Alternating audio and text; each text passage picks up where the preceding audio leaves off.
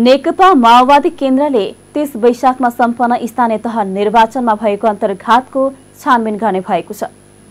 काठमाडौँमा जारी केन्द्रीय समितिको बिहिबारको बैठकमा अध्यक्ष पुष्पकमल दाहाल प्रचण्डले अनुशासन आयोगका अध्यक्ष टङ्कर राईको नेतृत्वमा छानबिन समिति बनाउने प्रस्ताव राखेका हुन्। यो समितिले पन्ध्र दिनभित्र स्थायी समितिलाई प्रतिवेदन बुझाउने र त्यसका आधारमा कारवाही गर्ने उनले बताए। thank you